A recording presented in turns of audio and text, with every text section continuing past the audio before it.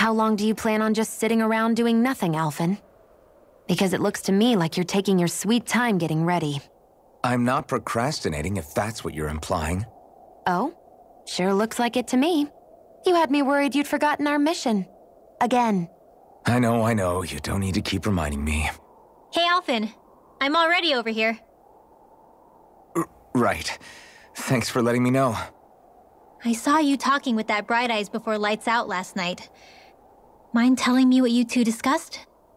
Nothing in particular.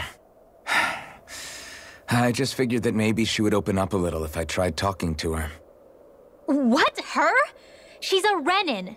I know we're working with her, but that doesn't mean we have to play nice with her.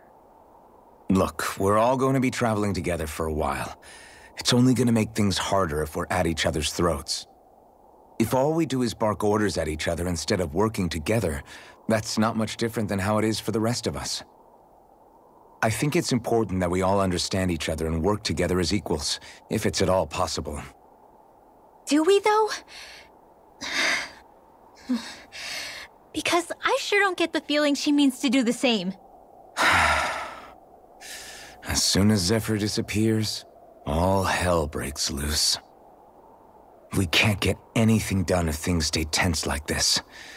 But what the hell am I supposed to do?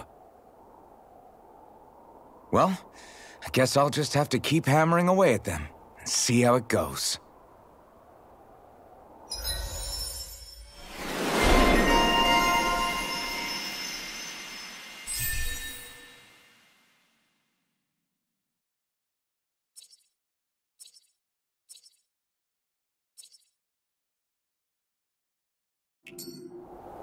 Come on, guys. We've got lots to do.